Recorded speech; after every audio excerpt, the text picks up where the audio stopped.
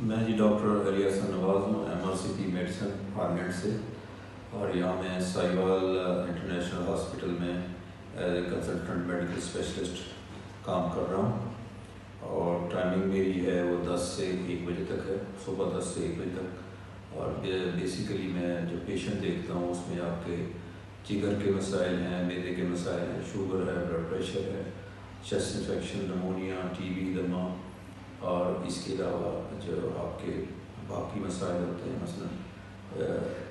पेचस है, इसाल है, या इवन के आपके गेंठिया वगैरह है तो इस तरह के पेशेंट मैं यहाँ पे डील करता